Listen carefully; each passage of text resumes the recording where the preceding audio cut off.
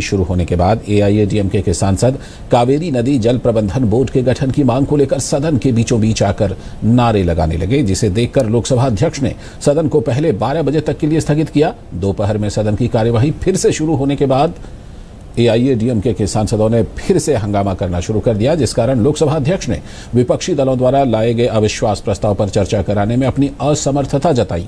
लोकसभा अध्यक्ष ने सांसदों को अपनी सीट पर जाने का बार बार आग्रह किया, लेकिन सदस्यों ने उनके इस आग्रह को नहीं माना।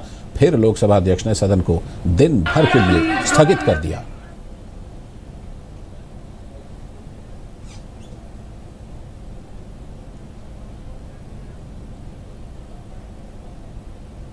और उधर राज्यसभा में भी आज विभिन्न दलों के सदस्यों ने अलग अलग मुद्दों पर हंगामा किया जिसकी वजह से बैठक दोपहर दो, दो बजे तक के लिए स्थगित कर दी गई।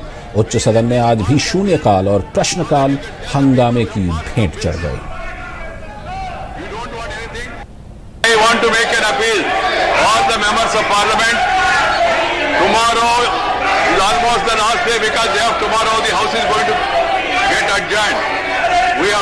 Transacted any business including important bills. Number of bills are pending before the house. The country want development, the country want registration, people want registration. The entire country is agitated, concerned, depressed with what is happening in the house. Please understand, at least uh, have some discussion and allow the bills to be passed. Today and tomorrow are the two days you left. So I would request every one of you pass some bills today.